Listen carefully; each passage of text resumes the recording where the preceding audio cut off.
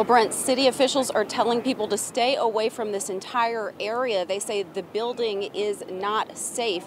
Now, fire crews did pull six people from that rubble.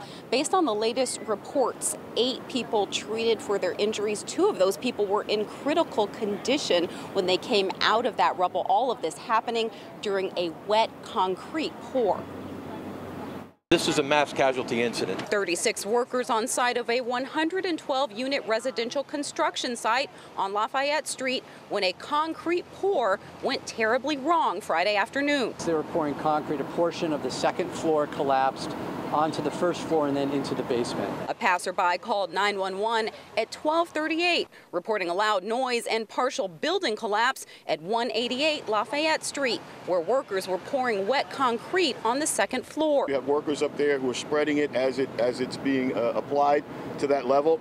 It appears from their statements that it began to pool in a certain area uh, faster than they could, and it it caused it to cave. New Haven Fire Department and medics with American Medical Response on scene in minutes. Six workers were pulled out of the building. Three were partially buried under the rubble and had to be lifted by fire companies after falling several levels into wet concrete. One of the problems that you have with wet concrete is having to do the searches before it hardens. extreme care that it takes to remove people from that. It's sharp rebar, plus uh, one of the walls is still unstable. Uh, they did some excellent work under some harrowing conditions. Crews even had to contend with external elements, working with Tweed airport officials. We had a helicopter flying over the scene, uh, and we're very concerned that that may have shifted things in that building. Uh, so they were able to get that helicopter out of here in, in, a, in, a, quick amount of time. There will be a significant investigation, as with any uh, construction uh, situation like this.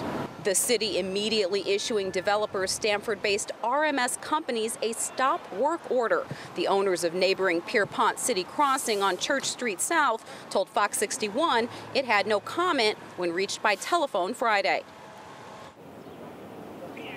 And OSHA and New Haven police are on scene here investigating. Based on the latest reports that we have from Yale New Haven Health, eight people are being treated. One person's condition has been upgraded to serious. Now, right now, crews are still doing a second search. They are using dogs to make sure that no one else is still trapped inside. That's the latest here in New Haven. I'm Samaia Hernandez, Fox 61, Connecticut's news station.